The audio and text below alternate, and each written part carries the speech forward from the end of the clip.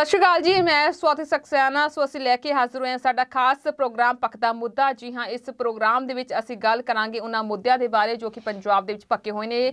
ਸੋ ਇਹਨਾਂ ਹੀ ਸਿਆਸੀ ਮੁੱਦਿਆਂ ਤੇ ਗੱਲਬਾਤ ਕਰਨ ਦੇ ਲਈ ਸਾਡੇ ਨਾਲ ਸਟੂਡੀਓ ਵਿੱਚ ਮੌਜੂਦ ਨੇ ਸਾਡੇ ਸਹਿਯੋਗੀ ਸਤਨਾਮ ਸਿੰਘ ਬਠੋਈ ਜੀ। ਸਭ ਤੋਂ ਪਹਿਲਾਂ ਉਹਨਾਂ ਦਾ ਸਵਾਗਤ ਕਰ ਲੈਂਦੇ ਹਾਂ। ਸਰ ਤੁਹਾਡਾ ਬਹੁਤ-ਬਹੁਤ ਸਵਾਗਤ ਹੈ ਜੀ। ਧੰਨਵਾਦ ਜੀ। ਜੀ ਸੋ ਅਸੀਂ ਪ੍ਰੋਗਰਾਮ ਦੀ ਸ਼ੁਰੂਆਤ ਕਰਦੇ ਹਾਂ ਸਾਡੇ ਪਹਿਲੇ ਮੁੱਦੇ ਦੇ ਨਾਲ ਜੋ ਕਿ ਬੀਬੀਸੀ ਨਾਲ ਜੁੜਿਆ ਹੋਇਆ ਹੈ। ਸੋ ਜਿੱਥੇ ਕਿ ਬੀਬੀਸੀ ਦੇ ਦਫ਼ਤਰ ਦੇ ਵਿੱਚ ਇਨਕਮ ਟੈਕਸ ਵਿਭਾਗ ਦੇ ਵੱਲੋਂ ਛਾਪੇਮਾਰੀ ਕੀਤੀ ਗਈ ਹੈ ਸੋ ਇਹ ਛਾਪੇਮਾਰੀ ਹੁਣ ਕਿਉਂ ਹੋ ਰਹੀ ਹੈ ਜੀ BBC ਜੋ ਕਿ ਬਹੁਤ ਵੱਡੇ ਪੱਧਰ ਤੇ ਜਿਹੜੀ ਹੈ ਸਟੋਰੀਆਂ ਦਿਖਾਉਂਦਾ ਜਾਂ ਬਹੁਤ ਸਾਰੀਆਂ ਰਿਸਰਚ ਵਾਲੀਆਂ ਸਟੋਰੀਆਂ ਚੱਲਦੀਆਂ ਨੇ BBC ਚੈਨਲ ਦੀਆਂ ਸੋ ਇਸ ਦੇ ਤਹਿਤ ਜਿਹੜੇ ਆ BBC ਨਿਊਜ਼ ਚੈਨਲ ਦੇ ਦਫ਼ਤਰ ਤੇ ਛਾਪੇਮਾਰੀ ਹੋ ਰਹੀ ਹੈ ਦੋ ਦਿਨ ਹੋ ਗਏ ਅੱਜ ਵੀ ਛਾਪੇਮਾਰੀ। ਚੱਲ ਰਹੀ ਹੈ ਇਨਕਮ ਟੈਕਸ ਵਿਭਾਗ ਜਾਂਚ ਪੜਤਾਲ ਕਰ ਰਿਹਾ ਹੈ ਜਾਂਚ ਪੜਤਾਲ ਚ ਨਿਕੜੇਗਾ ਕੁਝ ਜਾਂ ਨਾ ਪਰ ਇਹ ਪਤਾ ਲੱਗ ਗਿਆ ਕਿ BBC ਨੇ ਕਿਤੇ ਨਾ ਕਿਤੇ ਭਾਜਪਾ ਨੂੰ ਜ਼ਰੂਰ ਹਿਲਾ ਕੇ ਰੱਖ ਦਿੱਤਾ। ਜੀ। ਇਹ ਅ, ਜਾਂ ਹਾਲਚਾਲ ਦੇਖੀ ਜਾ ਰਹੀ ਹੈ। ਕਿਉਂਕਿ ਬੀਤੇ ਸਮੇਂ BBC ਨਿਊਜ਼ ਨੇ ਇੱਕ ਡਾਕੂਮੈਂਟਰੀ ਬਣਾਈ ਹੈ ਜੋ ਕਿ 2002 ਦੇ ਦੰਗੇ ਨੇ ਹੋਏ ਸੀਗੇ। ਗੁਜਰਾਤ ਵਿੱਚ ਉਸ ਤੇ ਡਾਕੂਮੈਂਟਰੀ ਤਿਆਰ ਕੀਤੀ ਗਈ ਹੈ। ਸੋ ਉਸ ਦੇ ਚੱਲਦਿਆਂ ਇਹ ਡਾਕੂਮੈਂਟਰੀ ਤੇ ਪਹਿਲਾਂ ਤਾਂ ਪੂਰਾ ਜ਼ੋਰ ਲਗਾਇਆ ਗਿਆ।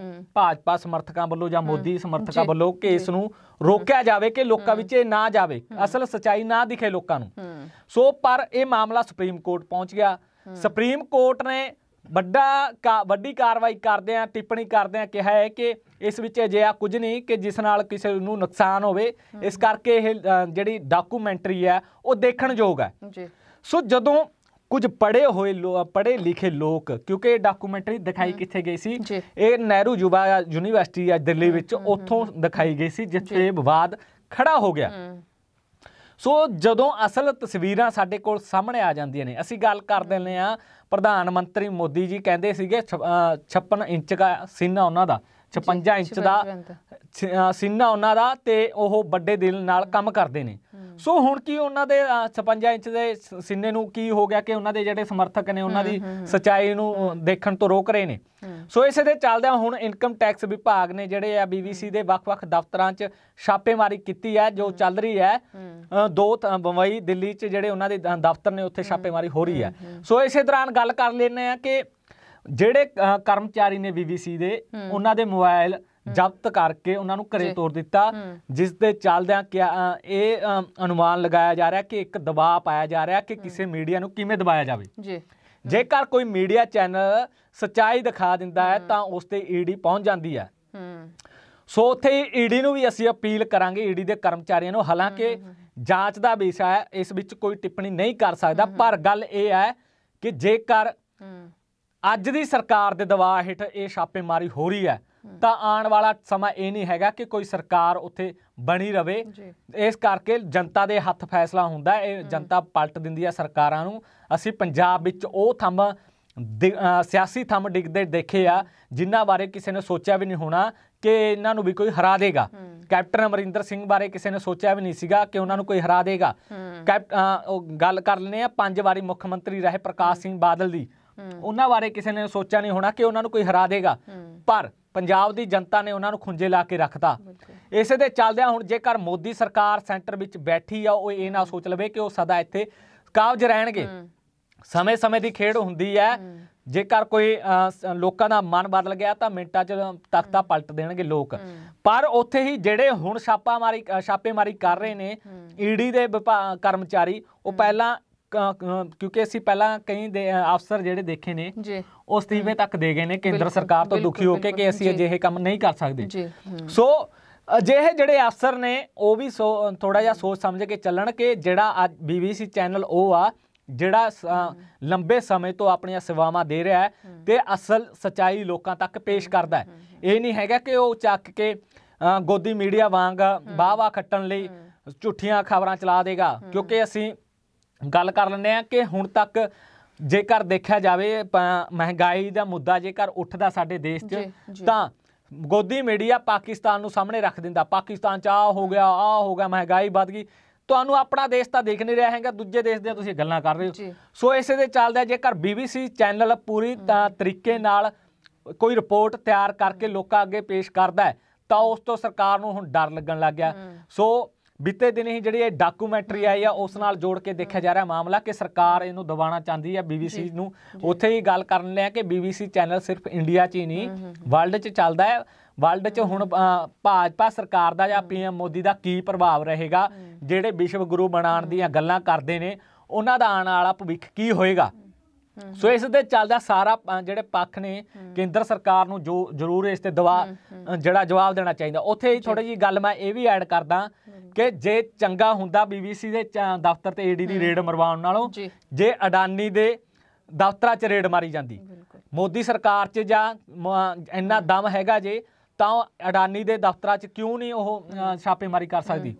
ਅਸੀਂ ਬੀਤੇ ਸਮੇਂ ਦੌਰਾਨ ਪੀਐਮ ਮੋਦੀ ਦਾ ਇੱਕ ਭਾਸ਼ਣ ਸੁਣਿਆ ਸੀਗਾ ਜਿਸ ਵਿੱਚ ਉਹਨਾਂ ਨੇ ਕਿਹਾ ਸੀਗਾ ਕਿ ਕਾਂਗਰਸ ਸਰਕਾਰ ਤਾਂ ਚਾਈਨਾ ਦੇ ਸੀ ਸ਼ਬਦ ਤੋਂ ਹੀ ਡਰਦੀ ਹੈ। ਹੁਣ ਲੋਕ ਕਹਿ ਰਹੇ ਨੇ ਕਿ ਭਾਜਪਾ ਦੀ ਮੋਦੀ ਸਰਕਾਰ ਤਾਂ ਅਡਾਨੀ ਦੇ ਇਹ ਸ਼ਬਦ ਤੋਂ ਵੀ ਡਰਦੀ ਆ ਇਹ ਸ਼ਬਦ ਵੀ ਉਹਨਾਂ ਤੋਂ ਨਹੀਂ ਬੋਲਿਆ ਜਾ ਰਿਹਾ।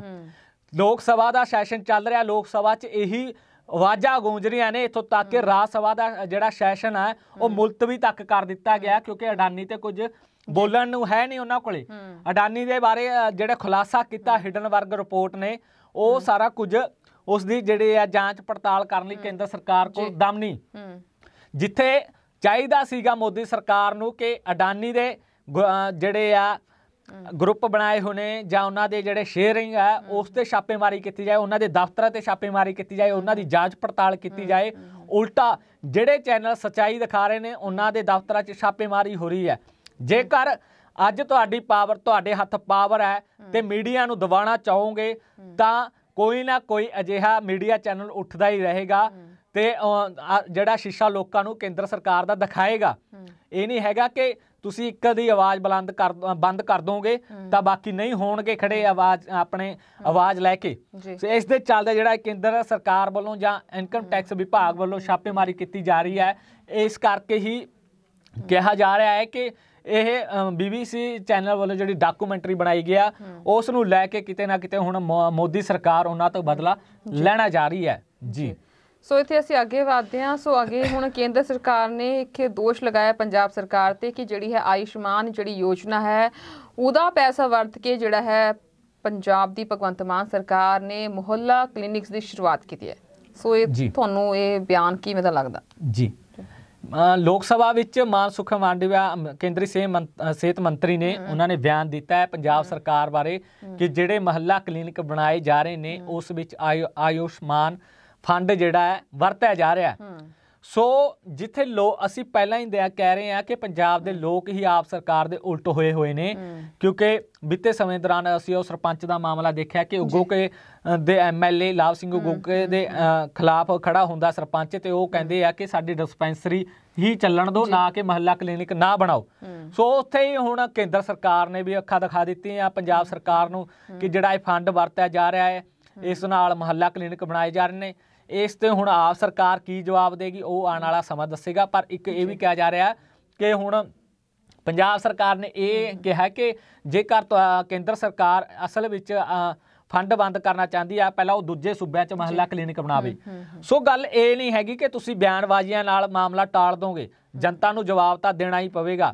ਜੇ ਸੀਐਮ ਮਾਨ ਸਾਹਿਬ ਕਹਿ ਸਕਦੇ ਆ ਕਿ ਅਸੀਂ 300 ਕਰੋੜ ਜ- ਪੰਜਾਬ ਦੀ ਜਨਤਾ ਨੂੰ ਜਵਾਬ ਦੇ ਆ ਤਾਂ ਇਹ ਵੀ ਜਵਾਬ ਦੇਣਾ ਪਵੇਗਾ ਕਿ ਕਿਉਂ ਕੇਂਦਰ ਸਰਕਾਰ ਵੱਲੋਂ ਇਹ ਸਵਾਲ ਚੁੱਕਿਆ ਗਿਆ ਕਿ ਅਸਲ ਵਿੱਚ ਆਯੁਸ਼ਮਾਨ ਜਿਹੜਾ ਫੰਡ ਜਾਰੀ ਹੁੰਦਾ ਕੇਂਦਰ ਵੱਲੋਂ 4000 ਕਰੋੜ ਰੁਪਏ ਤੋਂ ਉੱਪਰ ਦੀ ਰਾਸ਼ੀ ਦੱਸੀ ਜਾ ਰਹੀ ਹੈ ਕਿ ਇਹ ਸੱਚ ਵਿੱਚ ਜਿਹੜੀ ਹੈ ਮਹੱਲਾ ਕਲੀਨਿਕ ਤੋਂ ਵਿੱਚ ਵਰਤੀ ਗਈ ਹੈ।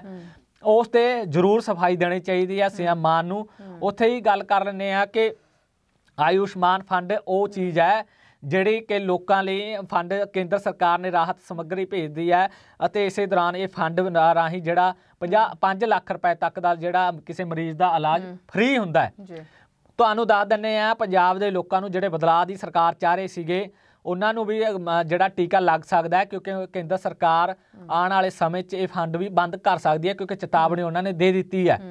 ਜੇਕਰ ਇੱਕ ਮਰੀਜ਼ ਜਿਹੜੇ ਕੋਲ ਪੈਸੇ ਨਹੀਂ ਇਲਾਜ ਲਈ ਜੇ ਕਿਹਾ ਕੇਂਦਰ ਸਰਕਾਰ ਉਸ ਨੂੰ ਕੋਈ ਫਾਇਦਾ ਦੇ ਕੇ ਥੋੜਾ ਮੋਟਾ ਹੀ ਲੈ ਲਓ। ਚਲੋ ਆਪਾਂ 5 ਲੱਖ ਦਾ ਨਹੀਂ ਲਾਂਦੇ ਵੀ 5 ਲੱਖ ਦਾ ਪੂਰਾ ਨਹੀਂ ਫਾਇਦਾ ਹੁੰਦਾ।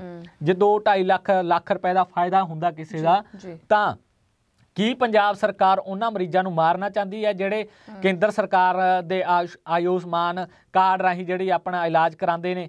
ਸੋ ਸਰਕਾਰ ਦਾ ਨਜ਼ਰੀਆ ਕੀ ਹੈ? ਲੋਕਾਂ ਨੂੰ ਅਸਲ ਵਿੱਚ ਕਿਹੜੇ ਸਿਹਤ ਸਹੂਲਤਾਂ ਦੇਣਾ ਚਾਹੁੰਦੀ ਹੈ ਸਰਕਾਰ? ਕੀ ਜਿਹੜੇ ਲੋਕਾਂ ਨੂੰ ਇਹ ਵੱਡੇ ਪੱਧਰ ਤੇ ਫਾਇਦਾ ਪਹੁੰਚ ਦੇ ਰਹੀ ਹੈ ਕੇਂਦਰ ਸਰਕਾਰ? ਦੋਸ਼ ਇਹ ਵੀ ਲੱਗੇ ਨੇ ਕਿ ਕਿਹਾ ਗਿਆ ਕਿ ਜਿਹੜੇ ਮੁਹੱਲਾ ਕਲੀਨਿਕ ਨੇ ਪਹਿਲਾਂ ਇਹਨਾਂ ਨੂੰ ਸੁਵਿਧਾ ਸੈਂਟਰ 'ਚ ਤਬਦੀਲ ਕਰਕੇ ਇਹ ਕਲੀਨਿਕ ਬਣਾਏ ਗਏ ਨੇ। ਸੋ ਇੱਥੇ ਵਿਰੋਧੀਆਂ ਵੱਲੋਂ ਵੀ ਕਾਫੀ ਜੰਮ ਕੇ ਇਹਦੀ ਇਹ ਸਰਕਾਰ ਦੀ ਆਲੋਚਨਾ ਵੀ ਕੀਤੀ ਗਈ। ਗੱਲ ਇਹੀ ਆ ਗਈ ਕਿ ਜਿਹੜੇ ਸੁਵਿਧਾ ਸੈਂਟਰ ਬਣੇ ਹੋਏ ਨੇ ਉਹਨਾਂ ਨੂੰ ਰੰਗ ਪੇਂਟ ਕਰਕੇ ਮਹੱਲਾ ਕਲੀਨਿਕ ਬਣਾਏ ਜਾ ਰਹੇ ਨੇ। ਨਵੀਂ ਦਿੱਖ ਦੇ ਕੇ। ਜੀ ਜੇਕਰ ਤੁਸੀਂ ਸਿਰਫ ਰੰਗ ਕਰਕੇ ਸਟਾਫ ਤੁਹਾਡੇ ਕੋਲ ਹੈ ਨਹੀਂ। ਜਿਹੜਾ ਸਟਾਫ ਡਿਸਪੈਂਸਰੀ ਹੈ ਵਿੱਚ ਆ ਉਹ ਹੱਥ ਖੜੇ ਕਰ ਗਿਆ ਕਿ ਜਦੋਂ ਤੱਕ ਪੱਕੇ ਨਹੀਂ ਕਰਦੇ ਸਾਨੂੰ ਉਦੋਂ ਤੱਕ ਅਸੀਂ ਇਹ- ਇਹਨਾਂ ਵਿੱਚ ਮੁਹੱਲਾ ਕਲੀਨਿਕ ਵਿੱਚ ਸੇਵਾਵਾਂ ਨਹੀਂ ਦਵਾਂਗੇ। ਤੇ ਤੁਸੀਂ ਸਿਹਤ ਸਿਹਤ ਸਹੂਲਤਾਂ ਕਦੋਂ ਦੋਗੇ ਜਦੋਂ ਲੋਕ ਮਰ ਜਾਣਗੇ? ਕੀ ਉਹੀ ਲੋਕ ਤੁਸੀਂ ਚਾਹੁੰਦੇ ਹੋ? ਜਦੋਂ ਹੁਣ ਜੇਕਰ ਕਿਸੇ ਡਿਸਪੈਂਸਰੀ ਰਾਹੀਂ ਲੋਕਾਂ ਨੂੰ ਪਿੰਡ ਦੇ ਆ, ਕੁਝ ਲੋਕਾਂ ਨੂੰ ਤਾਂ ਫਾਇਦਾ ਹੁੰਦਾ ਹੀ ਹੋਣਾ। ਬਹੁਤ ਸਾਰੇ ਲੋਕ ਜਿਹੜੇ ਆ ਡਿਸਪੈਂਸਰੀ ਤੋਂ ਅਸੀਂ ਗੱਲ ਕਰ ਲੈਂਦੇ ਆ ਜਦੋਂ ਕਰੋਨਾ ਕਾਲ ਆਇਆ ਸੀਗਾ। ਡਿਸਪੈਂਸਰੀਆਂ ਵਿੱਚੋਂ ਦਵਾਈਆਂ ਗਈਆਂ ਦਵਾਈਆਂ ਨਾਲ ਲੋਕਾਂ ਦਾ ਜਿਹੜਾ ਫਾਇਦਾ ਹੋਇਆ ਬਹੁਤ ਸਾਰੇ ਪਿੰਡਾਂ ਵਿੱਚ। ਜਦੋਂ ਕਿ ਸਰਕਾਰ ਦੇ ਹਸਪਤਾਲ ਤਾਂ ਇਸ ਕਾਬਲੀਅਤ ਤੱਕ ਵੀ ਨਹੀਂ ਸੀਗੇ ਕਿ ਕਰੋਨਾ ਮਰੀਜ਼ਾਂ ਨੂੰ ਸਾਂਭ ਸਕਣ।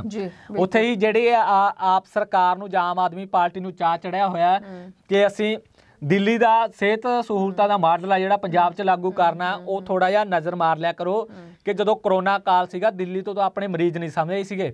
ਦਿੱਲੀ ਦੇ ਮਰੀਜ਼ ਸਾਡੇ ਰਜਿੰਦਰਾ ਹਸਪੀਟਲ ਆਂਦੇ ਰਹੇ ਨੇ। ਉਹਨਾਂ ਨੇ ਰਜਿੰਦਰਾ ਹਸਪੀਟਲ ਤੋਂ ਇਲਾਜ ਤੱਕ ਕਰਵਾਇਆ। ਸੋ ਸਰਕਾਰ ਬਿਲਕੁਲ ਇਹ ਲੱਗਦਾ ਹੈ ਕਿ ਡਾਮਾਡੋਲ ਹੋ ਚੁੱਕੀ ਹੈ ਇਹਨਾਂ ਨੂੰ ਲੱਗ ਨਹੀਂ ਰਿਹਾ ਪਤਾ ਨਹੀਂ ਲੱਗ ਰਿਹਾ ਵੀ ਕਰ ਕੀ ਰਿਹਾ ਸੀ ਕਰਨਾ ਕਿਹਦੇ ਲਈ ਹੈ? ਜਿਹੜੇ ਲੋਕਾਂ ਲਈ ਕਰਨਾ ਚਾਹੁੰਦੇ ਨੇ ਉਹ ਹੱਥ ਖੜੇ ਕਰ ਰਹੇ ਨੇ ਕਿ ਸਾਨੂੰ ਇਹ ਅਜਿਹੀ ਸਹੂਲਤ ਦੀ ਲੋੜ ਹੀ ਨਹੀਂ ਤੁਹਾਡੀ ਦੀ। ਤੁਸੀਂ ਆਪਣੀ ਸਹੂਲਤ ਆਪਣੇ ਕੋਲ ਰੱਖੋ ਤੇ ਧੱਕੇ ਨਾਲ ਤੁਸੀਂ ਉਹਨਾਂ ਤੇ ਥੋਪ ਰਹੇ ਹੋ। ਜੇਕਰ ਥੋਪ ਰਹੇ ਹੋ ਉਹ ਵੀ ਹੁਣ ਕਪੜੇ ਦੀਆਂ ਤੁਹਾਡੇ ਤੇ ਦੋਸ਼ ਲੱਗਣ ਲੱਗੇ ਆ। ਸੋ ਇਸ ਦੇ ਚੱਲਦਿਆਂ ਸਰਕਾਰ ਨੂੰ ਜਿਹੜਾ ਸਾਫ਼ ਸੁਥਰਾ ਤਰੀਕਾ ਅਪਣਾਉਣਾ ਚਾਹੀਦਾ। ਇਹ ਨਹੀਂ ਹੈਗਾ ਕਿ ਚਲੋ ਮੰਨਿਆ ਕਿ ਸਰਕਾਰ ਨਵੀਂ ਹੈ ਕੰਮ ਕਰਨ ਦਾ ਤਰੀਕਾ ਨਹੀਂ ਹੁੰਦਾ। ਕੀ ਸਰਕਾਰ ਦੇ ਅਫਸਰ ਤਾਂ ਪੁਰਾਣੇ ਨੇ ਅਫਸਰ ਤਾਂ ਸਲਾਹ ਹੀ ਦੇ ਸਕਦੇ ਨੇ।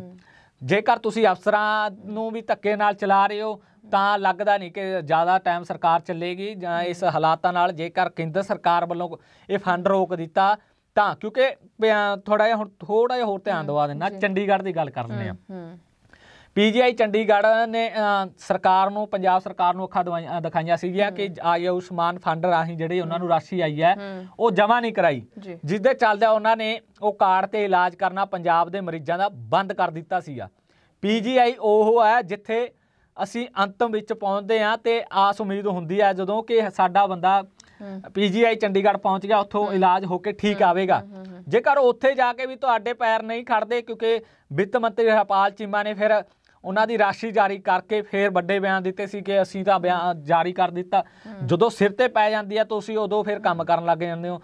ਲੋਕਾਂ ਦੇ ਜਦੋਂ ਹੱਡਾਂ ਤੇ ਬੀਤਰੀ ਆ ਜਿਹੜਿਆਂ ਤੇ ਉਹਨਾਂ ਦੀ ਤੁਸੀਂ ਸਾਰ ਲੈ ਕੇ ਰਾਜੀ ਨਹੀਂ। ਸੋ ਇਸ ਦੇ ਚੱਲਦੇ ਜਿਹੜਾ ਇਹ ਫੰਡ ਜੇਕਰ ਕੇਂਦਰ ਨੇ ਬੰਦ ਕਰ ਦਿੱਤਾ ਹੈ ਤਾਂ ਜਿਹੜੇ ਲੋਕ ਬਦਲਾਅ ਚਾਹੁੰਦੇ ਸੀਗੇ ਤਾਂ ਉਹ ਆਮ ਆਦਮੀ ਪਾਰਟੀ ਦੇ ਮਹੱਲਾ ਕਲੀਨਿਕ ਦੀਆਂ ਬਿਲਡਿੰਗਾਂ ਦੇਖ ਕੇ ਹੀ ਬਦਲਾਅ ਦਾ ਚਾਚ ਤਾਰ ਲੈਣ। ਇਹੀ ਚੰਗਾ ਹੋਏਗਾ ਉਹਨਾਂ ਲਈ। ਜੀ।